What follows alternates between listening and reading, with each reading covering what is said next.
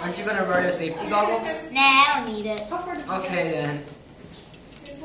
I made this piece water. Oh, oh leave me! Ah! Oh my! God! The men are small. Look.